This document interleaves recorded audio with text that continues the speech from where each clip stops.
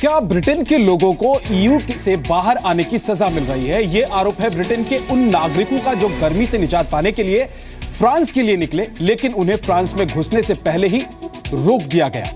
Weekend पर France जा रही करीब दो लाख पचास हज़ार गाड़ियाँ जाम में फंस गई। फ्रांस कह रहा है कि ऐसा सुरक्षा जाँच के लिए किया जा रहा है, जबकि ब्रिटेन के लोग कह रहे हैं कि उन्हें यूरोपीय यूनियन छोड़ने की सजा मिल रही है।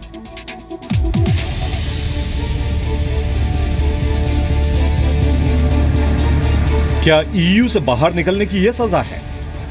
सोशल मीडिया पर कुछ ऐसे ही सवाल वायरल हो रहे हैं। फ्रांस की सीमा पर 15 किलोमीटर से भी ज़्यादा लंबा जाम लगा है।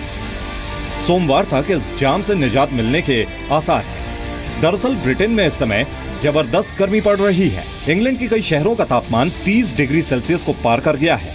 इसकी वजह से लोग फ्रांस और दूसरे ठंडे देशों की ओर जा रहे हैं।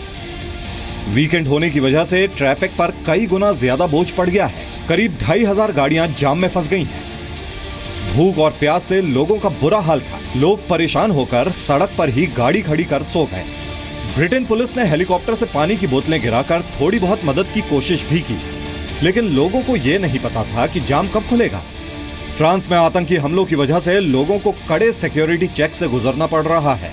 लेकिन जाम में फंसे लोगों का कहना है कि फ्रांस ईयू में रहने के खिलाफ ब्रिटेन के लोगों को वोट देने की सजा दे रहा है। ब्रिटेन के अफसर फ्रांस सरकार से इस जाम को जल्द से जल्द खत्म कराने की कोशिशों में लगे हैं। ब्रिटेन सरकार ने अपने लोगों को फ्रांस के पोर्ट ऑफ़ डोवर शहर की ओर ना जाने की एडवाइजरी जारी की है।